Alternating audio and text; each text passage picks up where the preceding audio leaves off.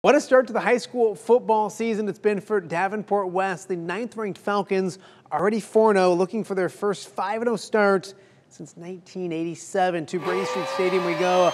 West welcoming uh, Dubuque Hempstead to town. Second quarter, Falcons up 7-0 and coming up with a little defense.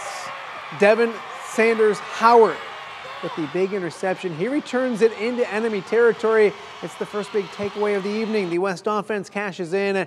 Brady Hanson keeps it from seven yards out. Watch the pile plow into the end zone. Extra point was blocked, so West back within one at seven to six. Later in the second, Falcons defense striking once again. It's Sanders, Sanders Howard once again with his second interception of the evening. The third takeaway of the night. He returns this one all the way for the pick six. A penalty, though, would take away the touchdown.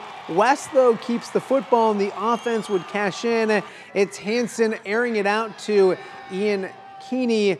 21 yard touchdown, two point conversion's good. West up 14 7 at recess.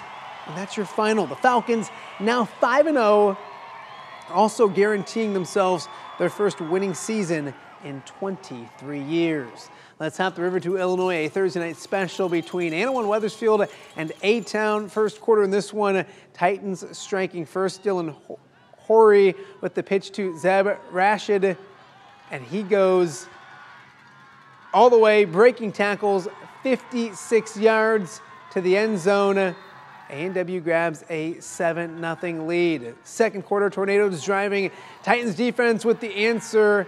Tyler Planos with the interception at the 10, giving the Titans a chance before the half. Third and 10. The offense would make the most of it with time winding down. It's Rashid again taking the screen pass going all the way to the end zone. 90 yards for the touchdown. Titans up 14 0 at that point. Annawan Wethersfield goes on to win this one 27 to nothing.